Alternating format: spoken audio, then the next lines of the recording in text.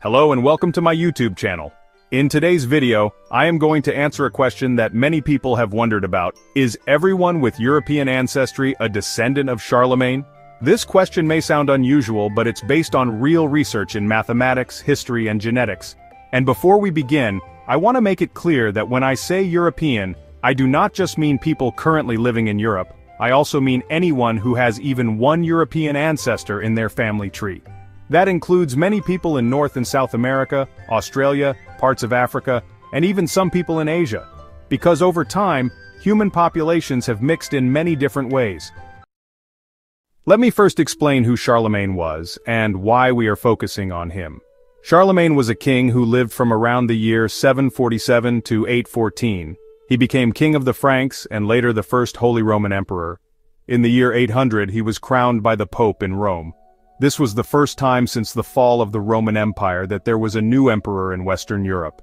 Charlemagne ruled over most of what is now France, Germany, Belgium, the Netherlands and parts of Italy and Spain. Because of this, historians often call him the father of Europe. After his death his empire was divided, but his many children and grandchildren went on to form the basis of many royal families in Europe. So, if we want to study whether modern people with European ancestry are connected to medieval royalty, Charlemagne is a very good example to start with. Now let's talk about the main idea. It comes from a theory developed by a mathematician named Joseph T. Chang from Yale University in 1999. He was interested in studying how all humans are connected through family trees. He created a mathematical model that asked, how far back in time do we need to go before we find a person who is the ancestor of everyone alive today? This idea later became known as the identical ancestors point. That means a point in history when the people who had children, and whose children also had children, became ancestors of all living humans today. For people of European ancestry, this point is thought to be around 800 to 1200 years ago, which is around the time Charlemagne was alive. So according to this model, Charlemagne is not just an ancestor of a few people, he is likely the ancestor of almost everyone with European heritage today. This theory was tested by other scientists including geneticist Douglas Rohde, who used computers to simulate population mixing over time. Their conclusions agreed with Chang's idea. To understand why this theory makes sense, we need to look at some simple mathematics of family trees. You have two parents, four grandparents, and eight great-grandparents. Each generation you go back, the number of ancestors doubles.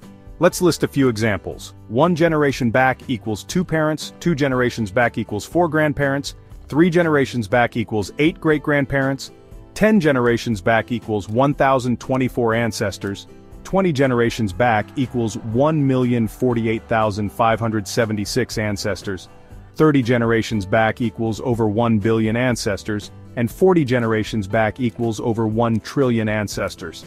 Now let's consider this. 40 generations is about 1200 years ago, which takes us back to around the time of Charlemagne.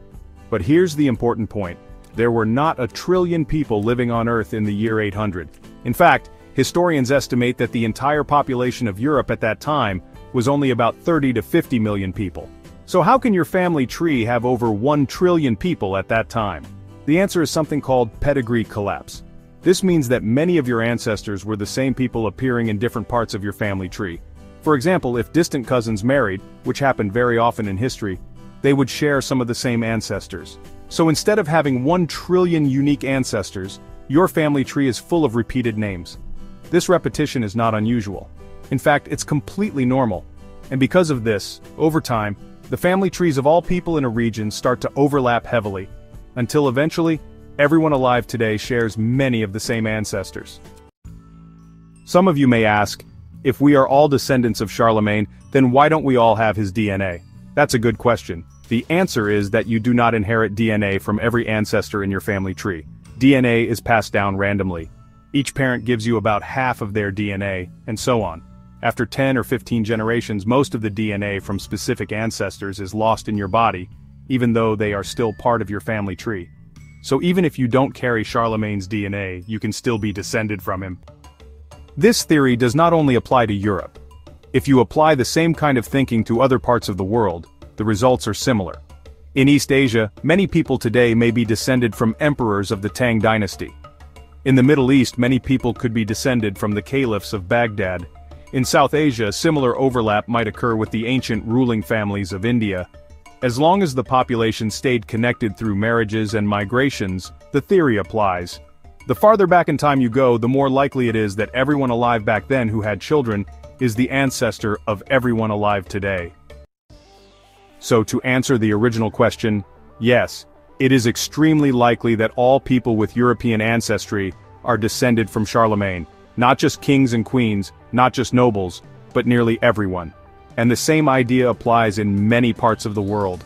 It reminds us that no matter how different we may seem today, we are all connected by history, by family trees, and by the simple logic of mathematics and genetics. If you found this video helpful or interesting, please consider liking and subscribing. And if you want more videos like this, about family trees, historical ancestry, and what science tells us about our roots, let me know in the comments below.